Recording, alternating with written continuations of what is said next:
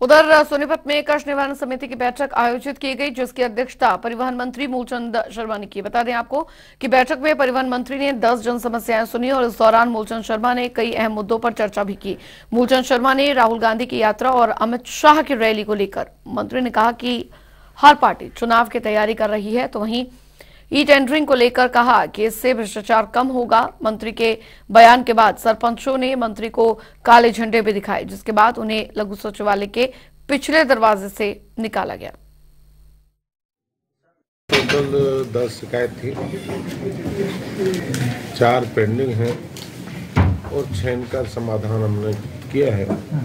कि लोगों की पानी की समस्या थी, कहीं बिजली की थी, कहीं पुलिस महकमे से थी। तो इस तरह की समस्याएँ जो लोगों की थी उनका हमने निपटान किया है। और बाकी हैं वो जाने वाले पंद्रह दिन में उनकी रिपोर्ट जो चार है उनकी पंद्रह दिन बाद उनकी रिपोर्ट डिस्टर्ब करेंगे। ट्रेंडिंग एक सबसे बड़ा जो भ्रष्टाचार की जर्नी है जो आम व्यक्ति की जो शिकायत नहीं होती लोग बहुत खुश हैं। जो लोग ई ट्रेंडिंग से ई ट्रेंडिंग होने भ्रष्टाचार पर लगाम लगेगी और इससे लोगों काम में गति मिलेगी।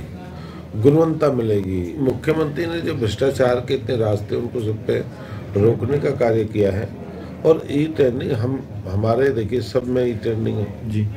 आप किसी भी उसमें जाइए। सरपंच क्या प्रेशर है सरपंच काम कराएँ।